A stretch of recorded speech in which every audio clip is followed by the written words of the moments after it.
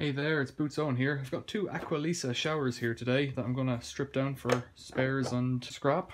Aqualisa Aquastyle and an Aqualisa Quartz Electric 8.5. That's probably the kilowatt rating.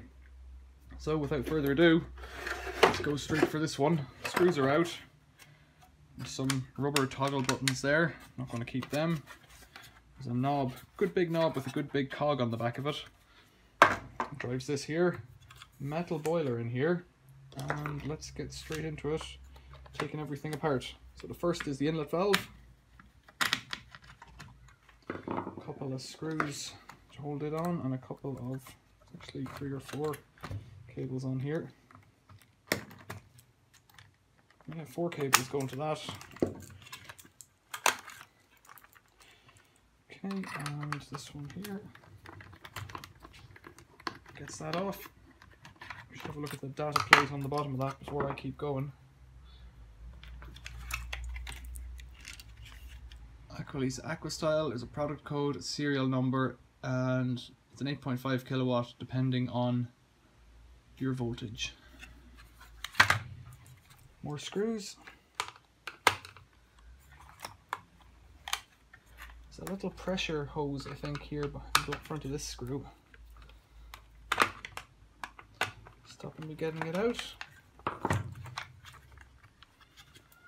Not sure now, will this come out? What's going to come out? I'll try and take them all out actually, because that's easier then. It's the earth cable, earth connector block.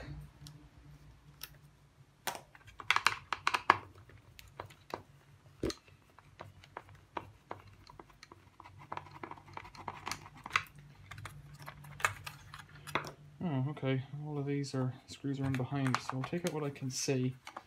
See how I get on. So screw holding on a bracket for that boiler. The boiler's loose now. The boiler loose.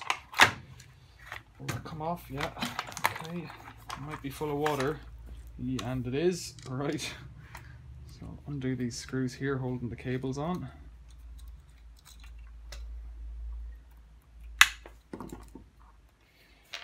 It's full of water.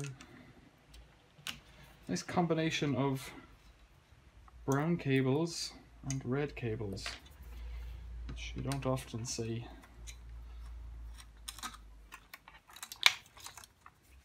There's a little kind of tiny little board there, and all it seems to do is have resistors for the LED. Or not LED. Are they LEDs? There might be some kind of LEDs the indicator lights anyways, they are, they are definitely indicator lights. Get that off. Okay, I'll pour this water out. There's the boiler, quite a nice heavy little copper one that. Good scrap value. There's your switch unit, so there's a toggle switch for on and off. I presume has spade connectors going to it, but they don't seem to want to come out. No, they've just broken off, right. That's the way that is. Um, that's a rocker switch for high and low, I presume.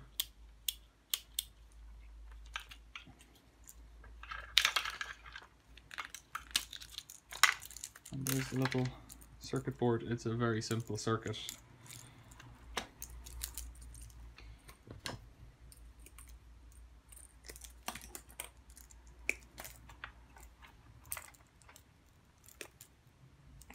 Unfortunately for it, I'm not interested in it.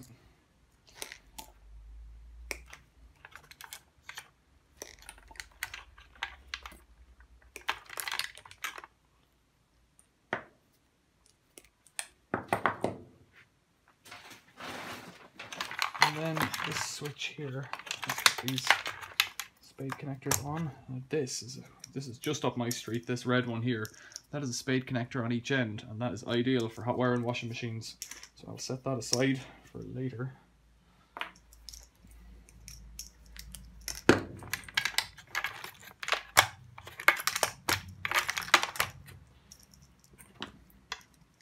The rest of them have a screw down connector on the other end, so it's no good to me.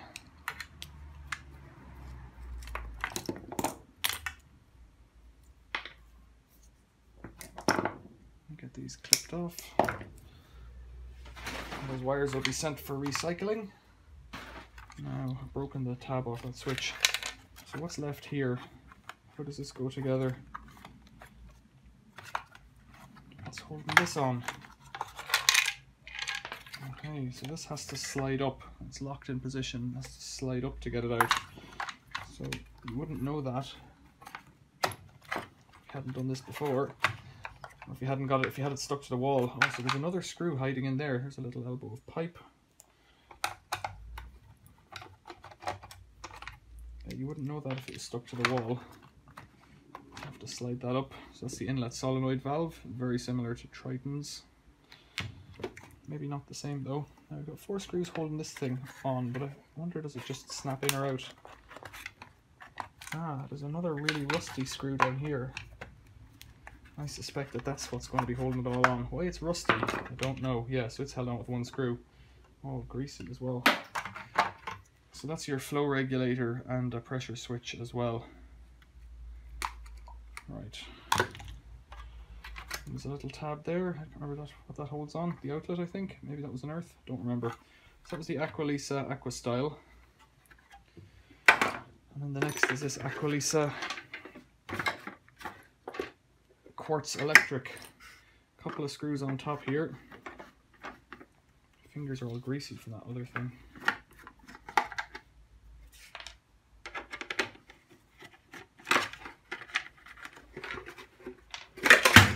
Right. Ooh, this is a different kind of one. So it's got a circuit board. That's a momentary switch, I'd say. It's got a circuit board in here. There's another screw on the bottom there that wasn't attached.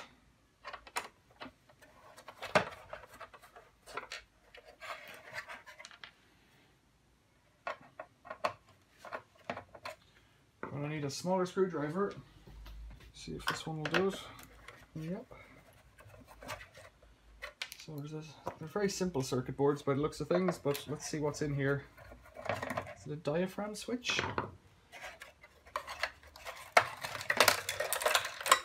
Wow, a lot going on there. So that's the cover gone, and then this clips on here. So, yes, it's got a momentary switch here. And then Wow, look surface mount stuff going on there. That's quite a complex little board. Hmm. Looks like there's a bit of heat damage to it there as well across those, I think those are two large resistors there. Seems to be a bit of scorching on the back, so I'd say that's dead. It is now.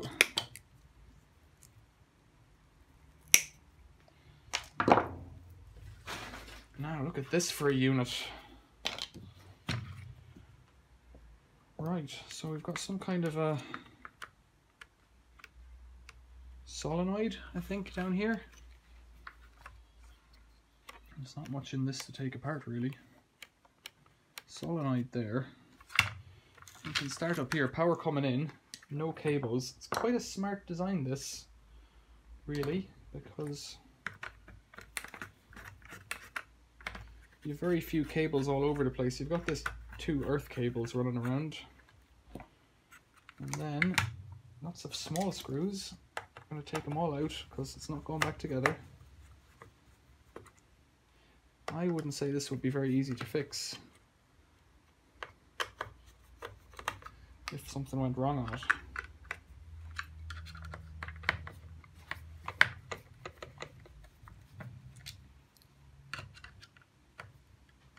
Because everything, there's the inlet. The inlet's coupled directly to here, which seems to have some kind of a flow regulator on it here. I presume that's what the main the main knob goes to. Inlet, maybe there's a solenoid in there. Can't you can't actually see what's going on. It's amazing. It's quite a quite an interesting one. So there's that earth loose. Okay, we're off we're off that plastic backing. There's gonna be water in it, of course. Now okay, you can take it all does seem to come apart however. See, maybe it's just gotten to the point in the world where an electric shower, I don't know if this how much this one costs, but an electric shower typically costs, I don't know, 140 quid for a reasonable one, and a pumped electric one, you can round and about add 100 quid on there for the electric pump, but around where I live you don't get, well, you don't get too many pumped ones. That's that off. A little bit of weight in that, it's like a little, oh it's a little solenoid, just a little pusher, so probably low voltage going to that. I'll play with that later. Cut those cables on that plug. I'll save that for later. That's just an earth cable on it. Does it say what it is? No, it just says 0908, so it could be 12 years old, perhaps. There's some of the details on that boiler. Nothing much, 8.5 kilowatts. Um, how much do I want to do here? I want to take this off. it's, it's so neat and so well packed. But what's funny about it is they've made it really neat and really well packed, but they haven't got anything else in here. There's nothing more to it than any other electric shower I've ever seen. I get these ones out.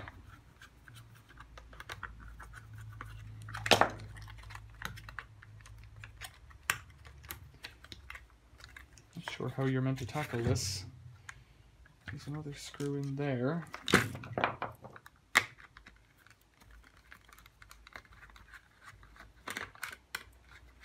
One of the more interesting ones for me because I haven't seen one like this before. Okay, so you can pull that off. Pull this off somehow. It's holding it on. There's two tabs. One tab there, okay. It's just a bit of plastic on. That's a little strip connector there. Okay, so there's some switches here. So there's a plunger there, which I presume is something to do with flow, flow regulator. So if there's no flow, if it's not turned on, it won't heat water, which is sensible. Let's cut those cables. Very little on the cable front in here. Big heavy nickel plated, I think. Um, it's not a bus bar, but it's just a connector really. with a little cable soldered to it for power, I guess, to the control board down below. So the power goes to that control board from here, and if you press the on switch, then I presume what's happening is that this electronic system here is activating that solenoid, opening the water valve, so you don't have to do it manually. God bless us. So you don't have to do that manually. So where did it actuate on? It, it actuated this lever here, which I guess opens a little valve in here. And I will find out now if I keep, keep unscrewing because we're in this far. So this is to get the outlet off. I'll take out these screws. There's another one here.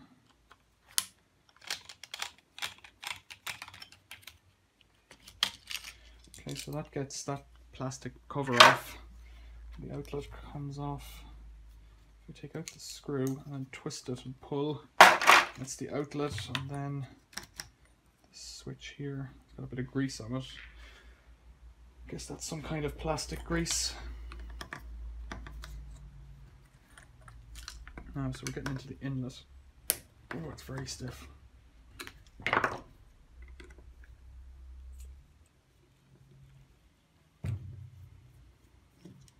rusty.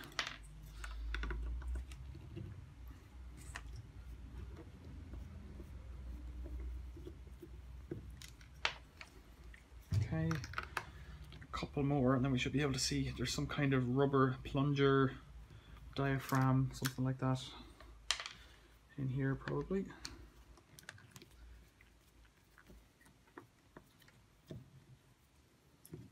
Now, yeah. Oh, okay, so nothing so far, just this little pin. Yikes, what are we getting into? Seven screws. Bear with me. Seven screws. So I've never really seen anything like this. This shower unit is really, it is a unit. Whereas the other ones are just more of an assembly of parts, kind of like um, a flow regulator and other bits out of a washing machine, really. Just a boiler and a solenoid inlet valve and yeah, this is kind of neat. Never seen anything like this before. Not in terms of scrap, there's very little value in it.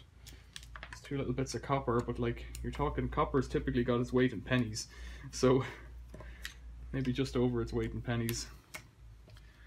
So what I'm saying there is if you have whatever 100 grams of pennies, I think a penny weighs a gram, so I don't know what I'm trying to say. it's worth its weight in pennies. Right, the inlet there. Don't know where we're going with this here. Don't know what that plunger did. So that's the flow knob is, is doing these here. And somewhere in here, was that where that plunger was going? So, oh, I think it, oh no, where was it gone? This plunger pin, I think, might push this plunger up and down. Or not. No, I don't.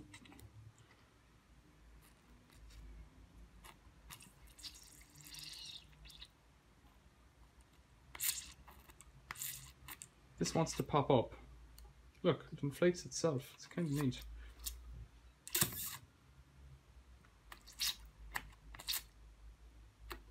I don't know. Let's go in a bit further. Some more screws.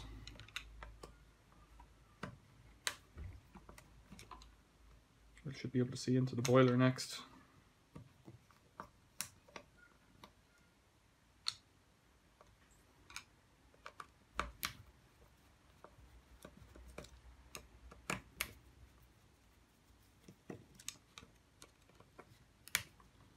This is apparently full of water.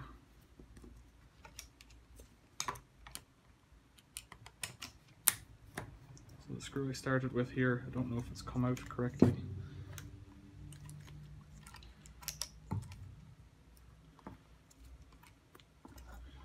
And something's connected there with that little spring down the bottom there to this plunger here. Oh, I can just pull that off. It's got a gasket, it's rubber with a gasket. There's a spring, so the spring's what's pushing it out. Don't know what's making it up. Let's uh, drain this water off.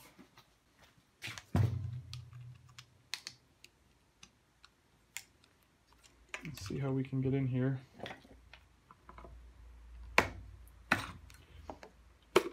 Yeah, it's stuck on that one screw now. Right. Cut that wire. That's just a plastic thing, the same as uh, in other ones you have a copper pipe going up and down. It's all plastic which is which is what it is. It's a micro switch there. And then there's a copper boiler. And it clips in from the side. I wonder if I can unhook these. They're pretty well held on. They're pretty well, oh, full of water. Pretty well staked on there. So they're pretty well staked on on both sides, apart from the middle bit for some reason. It's just been two big things that clamp onto it. Yeah, Aqualisa, right. Haven't seen one like that before. That was interesting for me. Maybe it was for you too.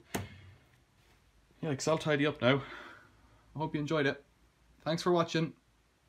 Give us a like if you liked it. Give us a dislike if you didn't. Lets me know.